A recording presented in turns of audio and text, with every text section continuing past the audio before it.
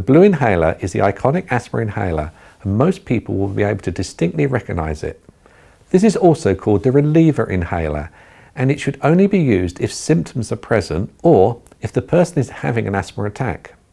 However, like the brown preventative inhalers, these must be administered correctly and the doctor or asthma specialist will show the person how to do this once they have the prescription.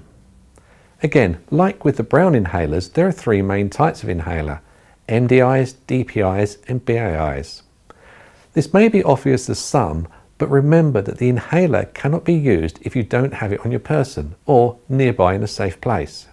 If you have been prescribed a reliever inhaler, make sure to always keep it near you, if not, preferably on your person. This makes sure that you always have it near you in the case of an emergency. The drugs inside the reliever inhaler are called bronchodilators. When they reach the lungs via inhaling, they relax the muscles surrounding the airway passageways, the bronchi and bronchioles. The two main bronchodilator drugs found within blue inhalers are called salbutamol and terbutaline. In terms of both function and effectiveness, there is not much difference between the two, the only main difference being that salbutamol is less expensive. With both the preventative and reliever inhalers, it's important to remember that they can come in many different variants.